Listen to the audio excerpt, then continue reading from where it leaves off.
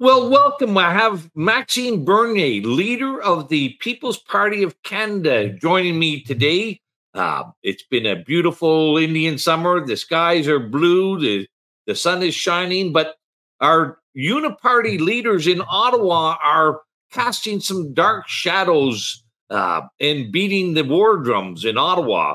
So I wanted to have a, a, a, brief conversation with Maxime Bernier. Of course, he's leader of the PPC Party of Canada, also a former Minister for Foreign Affairs uh, during the Harper government. So thank you very much for joining with me uh, today, Max. Thank you, Randy. I'm very pleased to be with you. So listen, uh, before we get into that, we're also you and I are going to be sharing a stage again. Uh, we haven't uh, done that for a little while. We had a lovely time sharing stages during the 2021 general election. Um, but November 9th, uh, you and I will be uh, back at it again. Uh, maybe uh, uh, let let the audience know what's what's happening November 9th. Yes, Randy, I'm very pleased. That will be fun.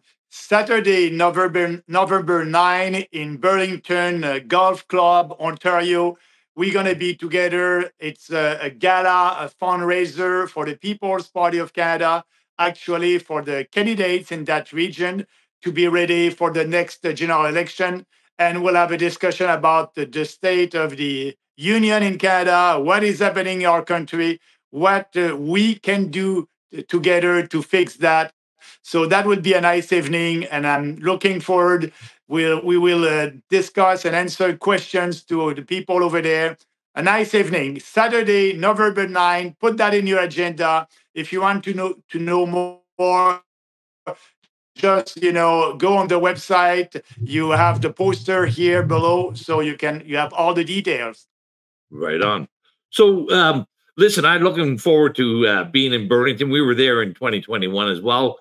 Uh, this is a uh, big fundraiser event. Uh, and for people who want to see, you're traveling around doing a lot.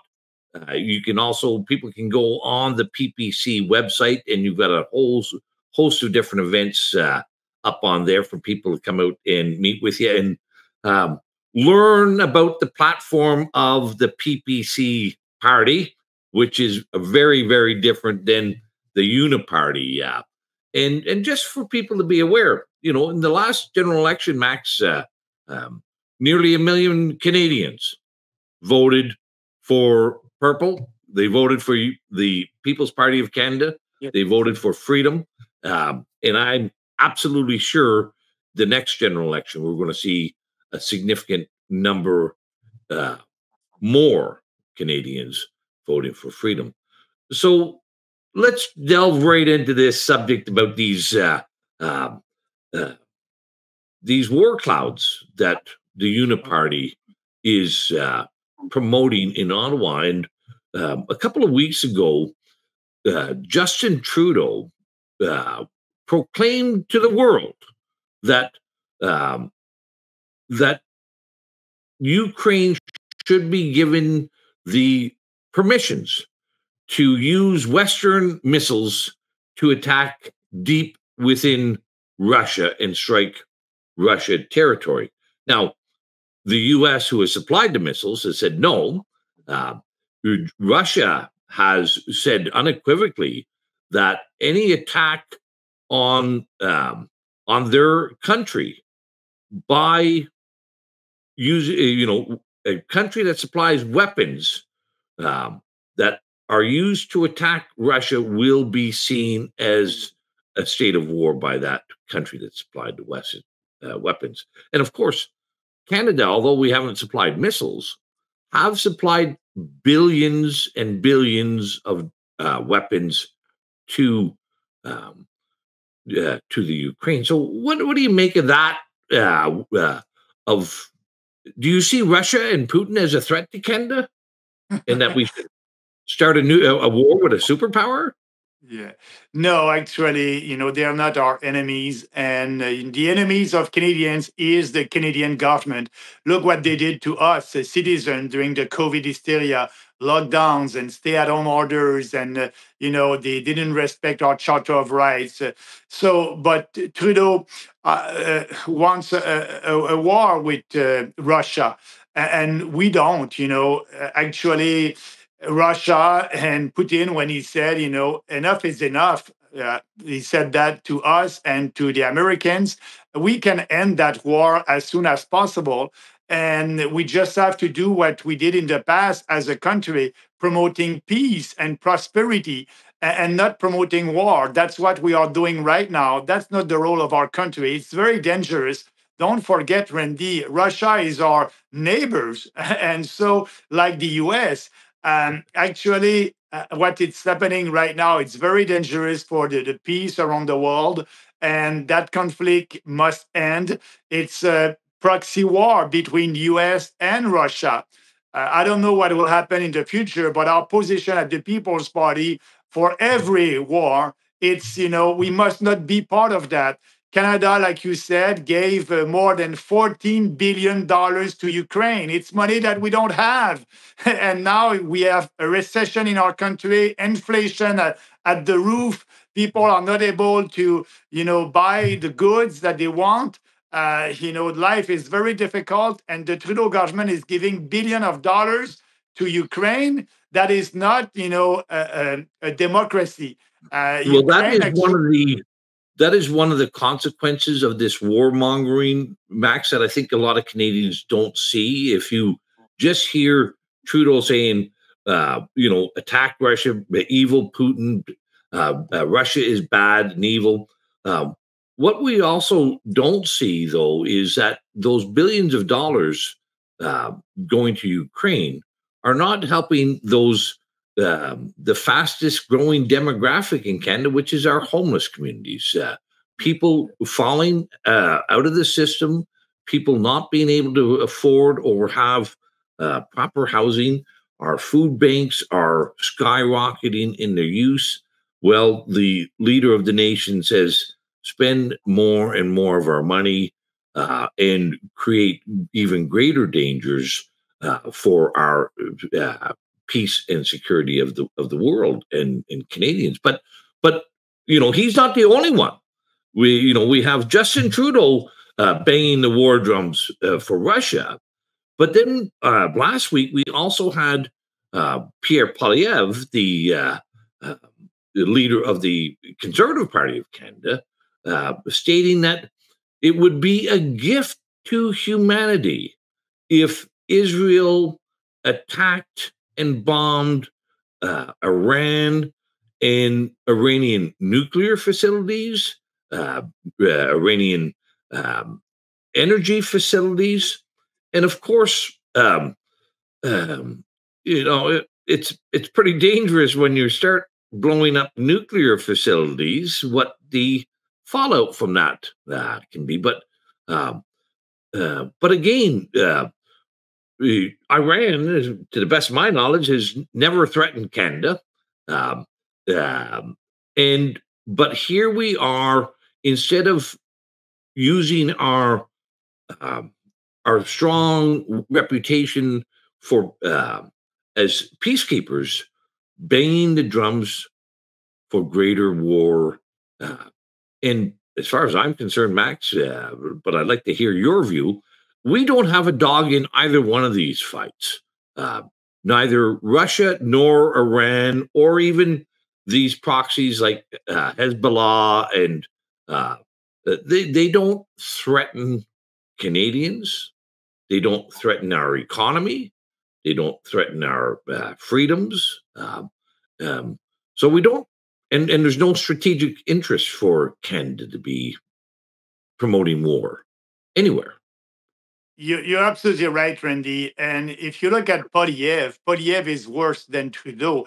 Uh, Poilievre said to Trudeau for the war in Ukraine that the federal government must give more money to Ukraine. And, you know, he was ready to engage a little bit more our country in that war in Ukraine. And actually, what he's doing right now with uh, the conflict in Middle East, he is uh, pandering to the Jewish community like he was pandering to the Ukraine community in Canada for that war. When he's doing that, he's not working for Canadians, he's working against Canadian interests, against Canadian security. And so that's why we at the People's Party, we want to promote peace, yes, and prosperity. But why, you know, we have to be part of all these wars uh, you know, across the world.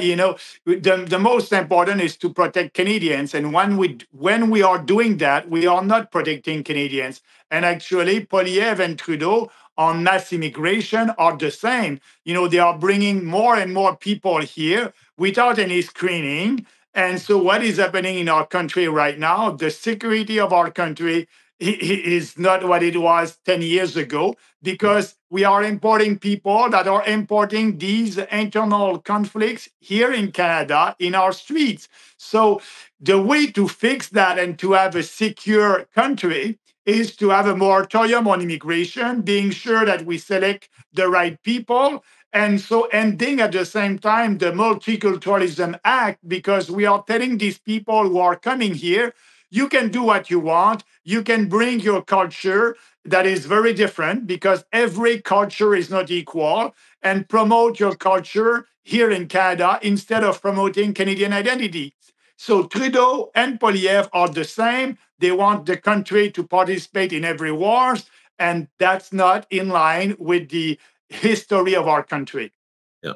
No, and I, and I think that that subject we could get into uh, that subject on its own as well.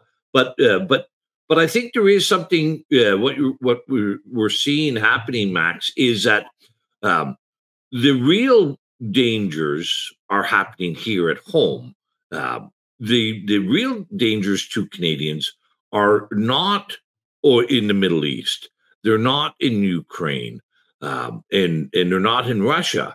Uh, the the real dangers, you know, and I'll say to you, uh, Max, the there's only two governments in my lifetime that have ever threatened my freedom, my prosperity, and my ability to earn a living. And that is the uh, Justin Trudeau government in Ottawa and the Doug Ford conservative government in Toronto. Those are the only two governments that have censored me, that have tried to prevent uh, and not and of course not just me.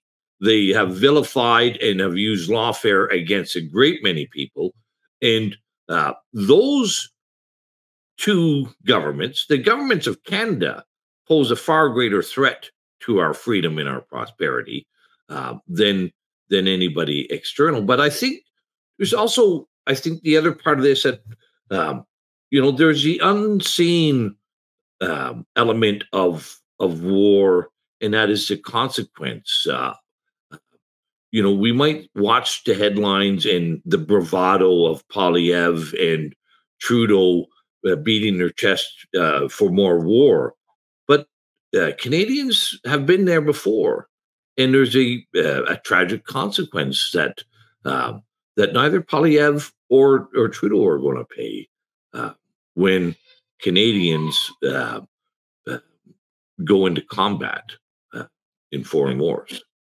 You know? And are dying over there. You're absolutely right. The the enemy of of of us, of Canadians, is not like you just said, Russia or another country. It is our own federal government that is not respecting our constitution, not respecting Canadians, and you know they they did what they did during COVID nineteen against us, and you're still fighting against that. And I I did fight also with. Uh, uh, uh, at the Supreme Court of Canada against the vaccine passport. That was illegal, unconstitutional.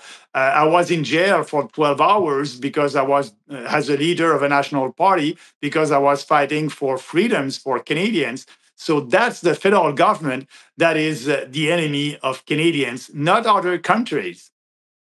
I agree, and and you know, and I know, and I'm sure you know, I know people that have fought for Canada who have uh, lost loved ones, and um, you know, um, like we to be promoting war where Canadians uh, are uh, uh face uh, these tragic consequences. Eh, you know, there should be a very thoughtful, methodical uh, deliberations about, uh, and not just this uh, warmongering and beating of the chest.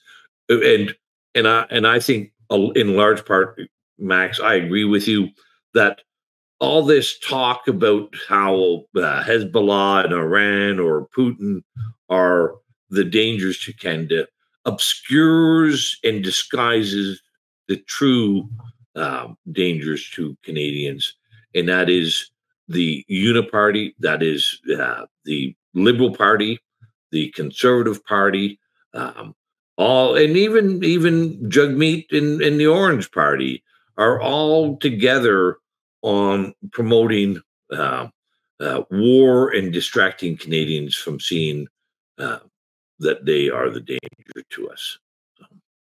absolutely, and it is uh, you know, it is sad when you're seeing all that, what is happening, and our leaders that are supposed to work for Canadians, uh, political leaders, uh, are not doing that right now. Uh, if you look at their policies and their actions, uh, it's all about you know pandering to different uh, ethnic groups, uh, try to buy votes with policies that will please different groups uh, they're not working for for Canadians, and, and, we need a government that will work for us, with us, and, and defend the Canadian interests. Uh, actually, we know right now that in the Liberal Party of Canada and in the Conservative Party of Canada, there's members of Parliament who are not loyal to our country. And Poilievre and Trudeau didn't want to do anything. And actually, Poilievre didn't want to know who are these uh, MPs in his own political party. And because, as you know, Randy, the RCMP said to Poilievre, we can give you a brief. We can tell you who are the MPs in your party that are not loyal to the country. And Poilievre said, no, I don't want to know anything about that. And same thing with Trudeau.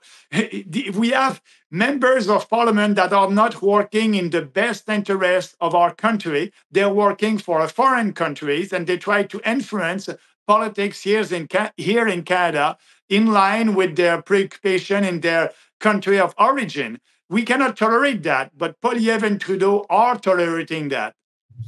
Well, listen, uh, Maxime, uh, if uh, if we got rid of all of the members of parliament who were only serving their own interests or serving the interests of of other countries, um, there wouldn't be very many people left in um, on Parliament Hill, in my view. Like you know, I we saw this. This has been going on for a long time, uh, and and again, we'll leave that for another show. But uh, we had uh, ministers in the Dalton McGuinty government and the Kathleen Wynne government uh, who were known to be serving their own interests and those of another country.